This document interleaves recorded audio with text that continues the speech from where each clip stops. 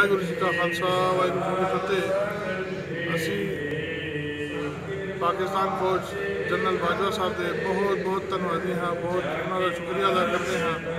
ਜਦੋਂ ਭਾਈ ਦਰਬਾਰ ਸਿੰਘ ਜੀ ਬਿਮਾਰ ਸਨ ਤੇ ਉਹਨਾਂ ਨੇ 2 ਲੱਖ ਰੁਪਇਆ ਕੈਸ਼ ਅਮਾਉਂਟ ਪੇ ਕੀਤਾ ਤੇ ਅੱਜ ਉਹਨਾਂ ਦੇ ਚਲਾਣਾ ਹੋਇਆ ਤੇ ਉਸ ਵੇਲੇ ਵੀ ਉਹਨਾਂ ਨੇ 1 ਲੱਖ ਰੁਪਏ ਹੋਰ ਮਜ਼ੀਦ ਉਹਨਾਂ ਵਾਸਤੇ ਇਮਦਾਦ ਦਾ ਐਲਾਨ ਕੀਤਾ ਹੈ।